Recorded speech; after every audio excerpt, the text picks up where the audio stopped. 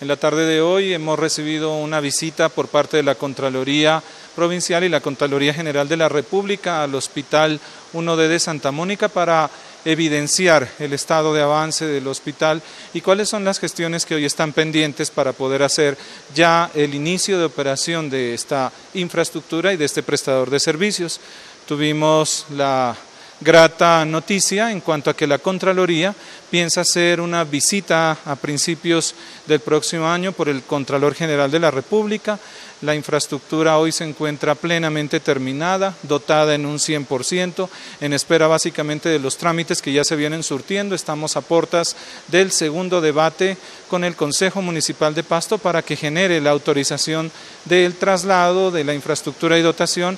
para la fase de operación con la empresa social del Estado Pasto Salud. Una vez se liquide el proyecto a través de los aplicativos correspondientes con planeación nacional y con regalías, podremos entonces surtir este proceso de autorización de entrega y la empresa social del Estado Pasto Salud podrá entrar en operación de este prestador de servicios de salud para beneficiar a toda la población del municipio de Pasto. Recordarles que esta infraestructura cuenta con consulta externa médica general, vacunación, consulta de enfermería, programas de promoción y prevención, consulta médica especializada en pediatría, ginecología, medicina interna y cirugía, así como estamos eh, buscando, ojalá, que se pueda incluir la parte de medicina familiar, Aparte de eso, tenemos servicios de hospitalización, quirófano, laboratorio clínico, imagenología, servicio farmacéutico, atención de partos y urgencias. Esperamos que